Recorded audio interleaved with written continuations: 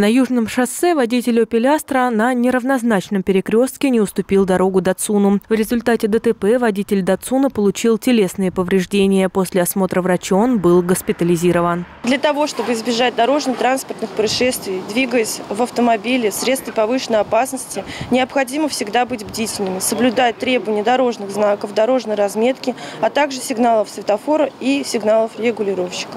Сотрудники правопорядка предупреждают горожан, что на этой неделе погода не будет радовать. Столбики термометров опустятся до минус 2 градусов. На дорогах стоит быть внимательными. Водителям нужно быть предельно внимательными за рулем, потому что а, дорога, которая покрыта водой, она может подмерзнуть, соответственно, водитель может потерять управление своим автомобилем, съехать в кювет, может занести автомобиль на встречную полосу, поэтому необходимо еще раз быть предельно внимательными за рулем, соблюдать скоростной режим. В конце мая сотрудники правопорядка проведут ежегодный конкурс «Безопасное колесо». В нем примут участие ребята из отрядов юных инспекторов движения. Праздник пройдет на стадионе «Икар».